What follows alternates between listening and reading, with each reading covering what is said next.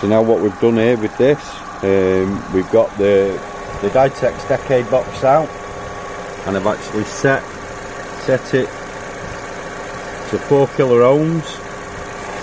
I've got it pinned in into the coolant temp sensor and you can see there I've actually simulating the temp sensor now with a temperature reading of 12 degrees. If we take it down to 3 kilo ohms takes it up to 18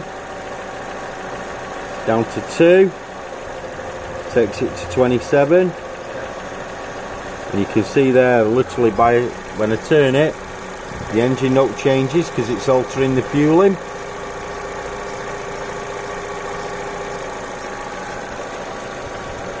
So that's what we're doing we're using the the Dytex decade box straight into the coolant temp sensor. So that's proved that the wiring's okay all the way back to the ECU all this wants is a coolant temp sensor not a hint of a misfire or anything.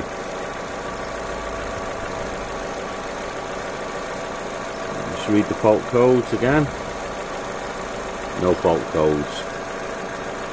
Awesome. Hope you enjoyed that. Thanks for watching.